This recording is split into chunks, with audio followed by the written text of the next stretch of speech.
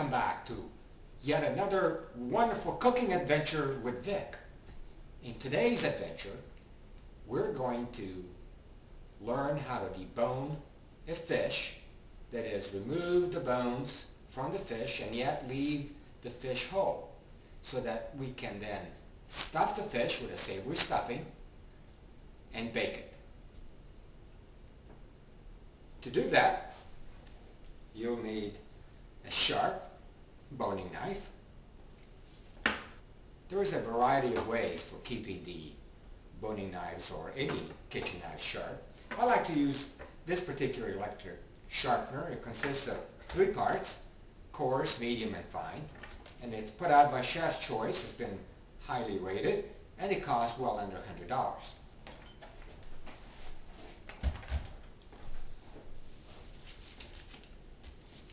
The process of deboning the fish begins by cutting a slit at the tail end, pressing the knife flat as close as possible to the bones, and then basically following the contour of the bones, removing the meat from the bones as we move along. Very similar to deboning poultry. There are two parts in the fish structure that might cause a few problems. The first part is right here at the belly. You see how the belly is rather thin and the, the bones are very close to the skin. So this is going to require a little bit of attention. Now, the other part is right along, right along the back. The bones come all the way up to the top of the back on both sides. And then to remove that final part of the bone without puncturing the skin, I can either use a knife or what is even easier to use is just a pair of scissors and simply cut the bone away. So let's get started. Start off at the end here by puncturing the skin. The skin is tough, so it takes a bit of force to puncture the skin and finally penetrate it. There we go. Then follow the contour of the bones right along. You'll be able to feel them with a knife blade. You see how the meat is beginning to separate away? There we go.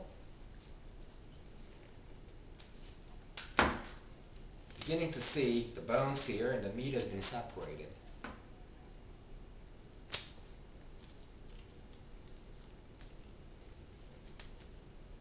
Here we're approaching the belly. It's going to require a little bit of attention here.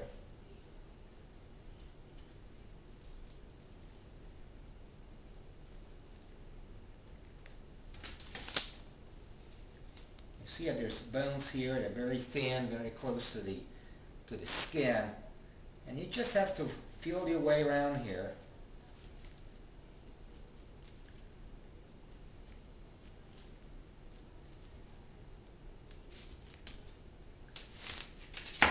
Well, we're done with the first half. You see how the, the meat has been uh, separated from the bone. Here's the bone.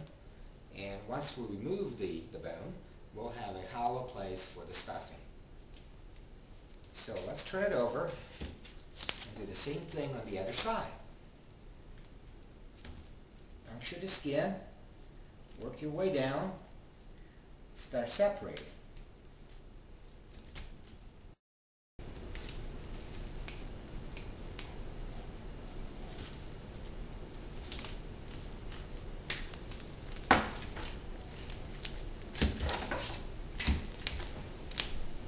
Well, at this point, here is the bones, and they're stuck to the back of the fish. And to remove these bones from the back, uh, you can use a pair of scissors or a knife. I'm going to use a pair of scissors. Just start cutting right along the back.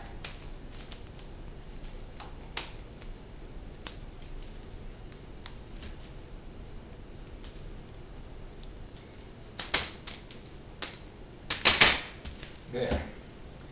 The only part left is to remove this from the head. And this will actually come right out. Just a twist. Here's the bone. Here's the whole fish. Now completely deboned.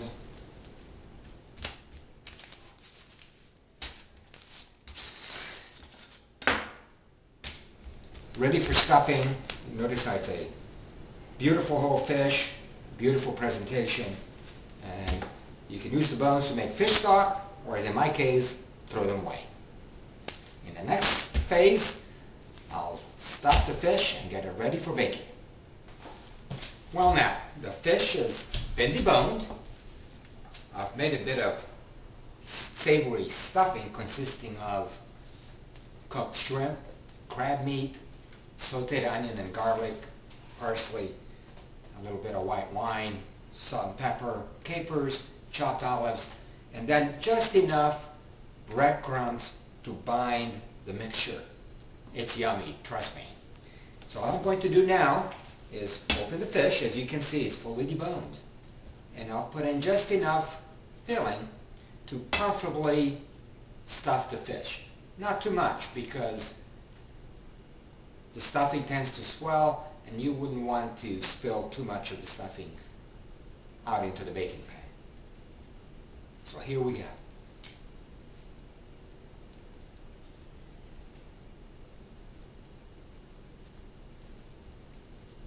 So to pat it in there a little bit to give it a little bit of um, shape.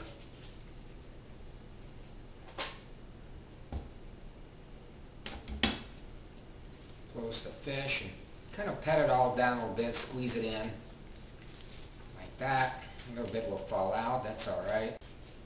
And what I've done here is prepare a baking pan. On top of the baking pan, I have a grill.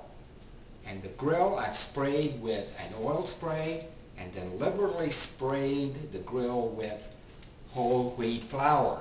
And the purpose of the whole wheat flour is to help prevent the fish from sticking to the grill.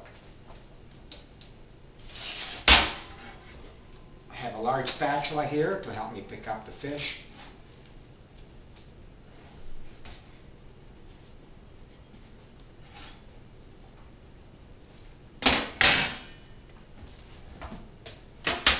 The fish is now ready for baking. And here is the beautiful baked stuffed red snapper coming right out of the oven. Flecked with brown and black where the skin is blistered and crispened. It is delicious.